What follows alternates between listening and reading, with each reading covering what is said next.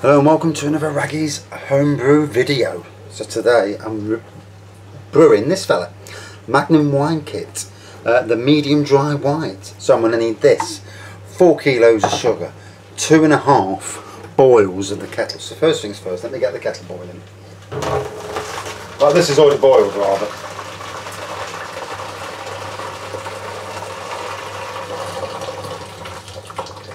So yeah, off camera of that. Obviously everything's sterilised.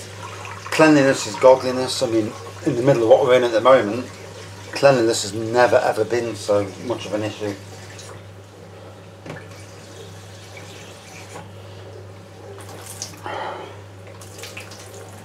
As we know. Right, that's on. So now, the sugar. Pour the sugar in.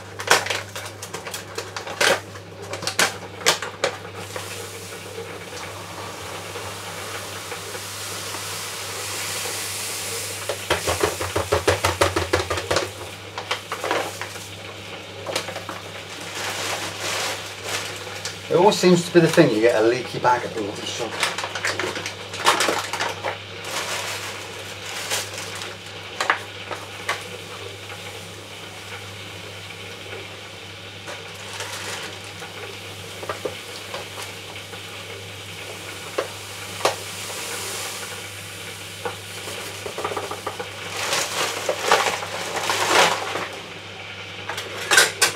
So, that's one lot, one kettle full of water, four kilos of sugar. Time to stir.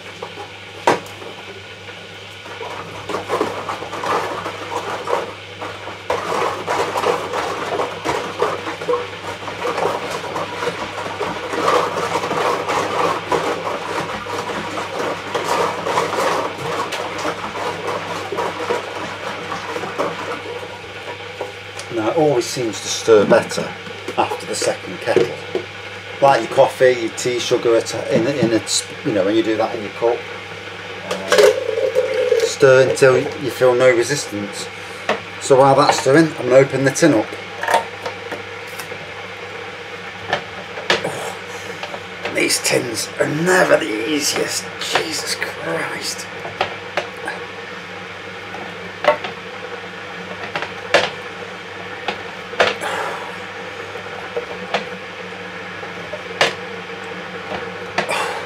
If, if you're really old and you're struggling then get somebody who's got stronger hands. Because I tell you now they're not the easiest.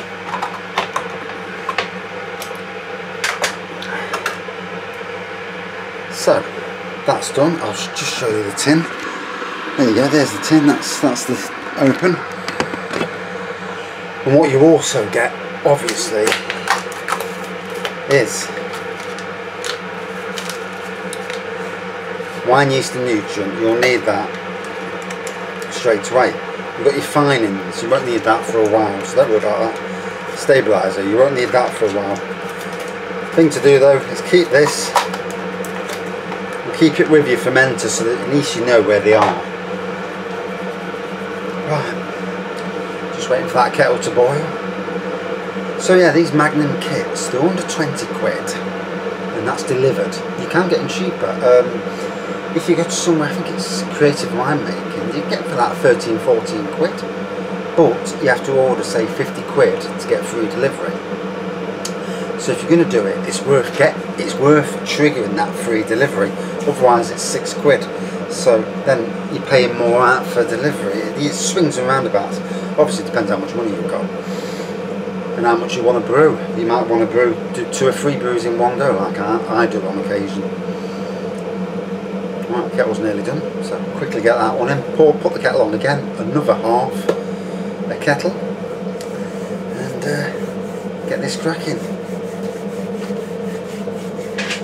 I want to be sat down and chilling, get some dinner down at work in the morning.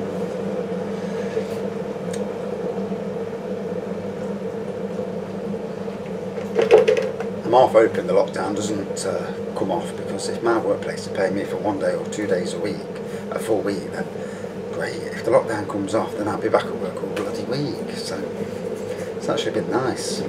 There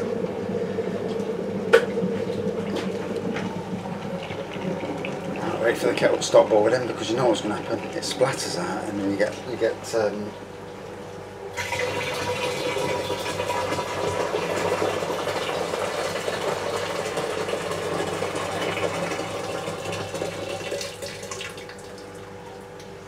That's about six litres. I think in total you're going to want about eight litres, seven to eight litres of um, hot water. Or for me, two and a half kettlefuls, no more than that. Yeah. Right. So, get me stirring out again.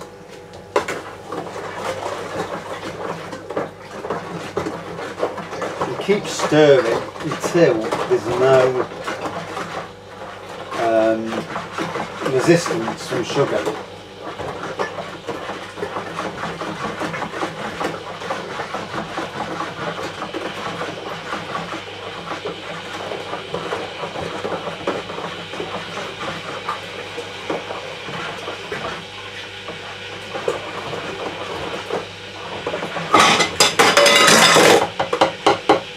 Give me a shock.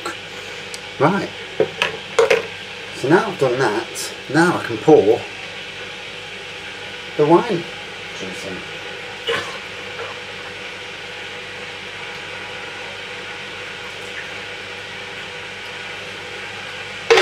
I'm going to use the hot water to swill out the wine juice, the remainder, and I'll start filling with cold water.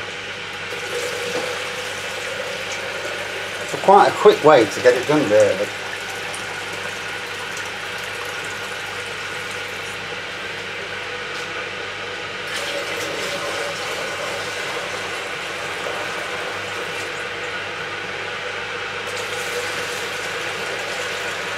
We want to go up to around about 24 litres.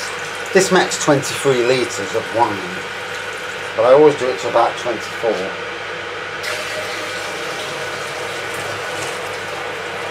Because you, you lose a good litre at the bottom.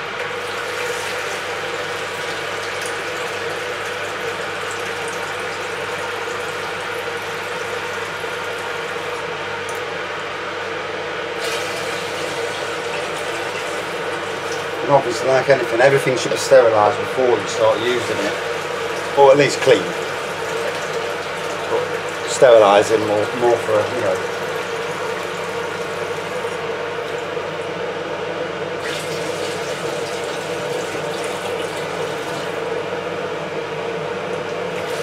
So we're up to seven, nearly eight minutes now. Should get this done in about the next two or three minutes.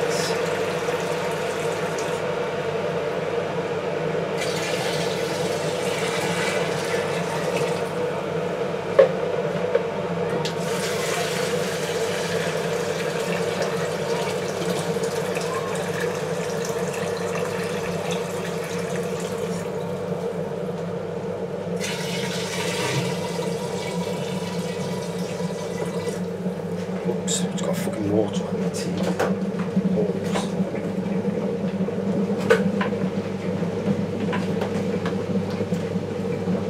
It helps if you don't spill water over a TV.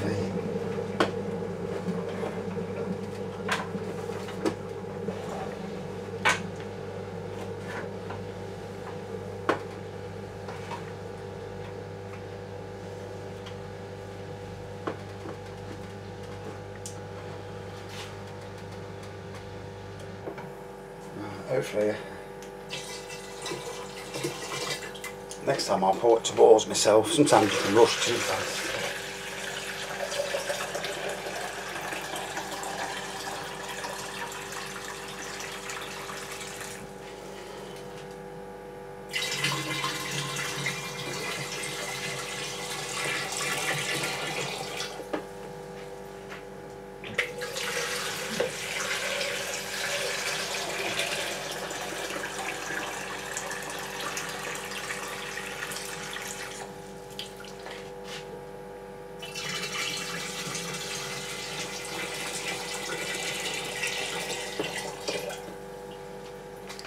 Just going to show you.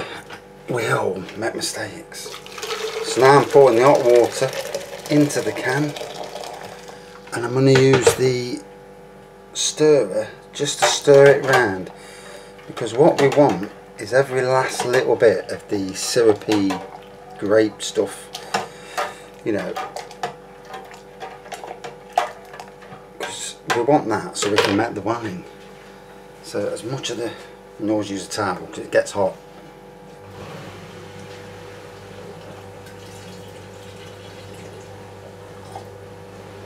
Right one clean can.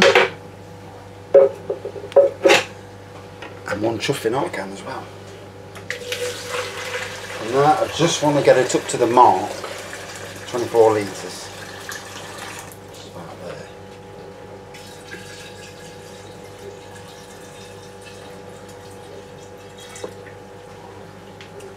See, I did have it marked out. I've just got a little bit more to go.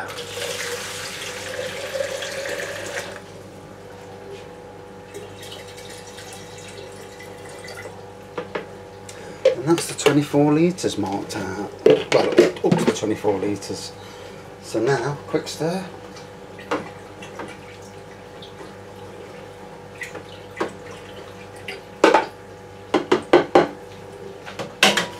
Although to be fair, it's not really needed because when I walk it down to the shed,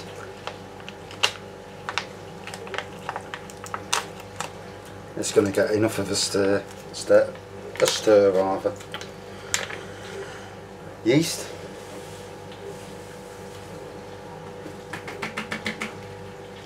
And uh, well, there we have it. It's quite clear already. Um, lid's going on. Just make sure I've got some water in the airlock.